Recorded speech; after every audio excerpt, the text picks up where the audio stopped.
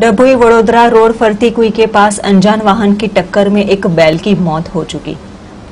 मिली जानकारी के आधार पर डभोई वडोदरा रोड फरती कुई के पास अनजान वाहन की टक्कर में रात के वक्त एक बैल को अपनी चपेट में लेते हुए बैल की मौके पर ही मौत हो चुकी। 20 घंटे तक ये बैल मृत अवस्था में रोड पर पड़ा रहा था। जीवदया प्रेमी को इस बात की जानकारी होते हुए बाद पशु, मृत पशु को यहाँ से हटाने की कामगिरी जारी की गई। ज़ाहिर सी बात है कि जीवदया प्रेमी को प्रेमी को इस बात की जानकारी देने के बाद राहदारी का भी इस बारे में ध्यान होने के बावजूद पूरी रात बैल रोड साइड पर पड़ा रहा था। बार बार इस बा, प्र, प्र, प्रकार से गाय और अन्य पशुधन की मृत होने की घटनाएँ प्रकाश में आ रही है। बावजूद यहाँ तक यहाँ पर कोई भी स्ट्रीट लाइट की कामगिरी नहीं की जा रही। तालुका पंचायत की हद में ये विस्तार आ रहा है। बावजूद पशु यहाँ पर रोड रास्तों पर भटकने के कारण अक्सर अनजान वाहन की टक्कर में मौत के हवाले हो रहे हैं।